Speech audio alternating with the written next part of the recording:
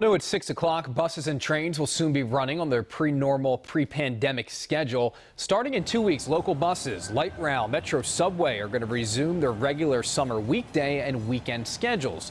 You will also be allowed to get on the bus in the front, and officials encourage everyone to use that Charm Pass or Charm Card for contact-free payment. Seating will not be restricted, and you're asked to maintain social distance whenever possible. MARC's Penn, Camden, and Brunswick lines will also begin running regular service. Face masks are required.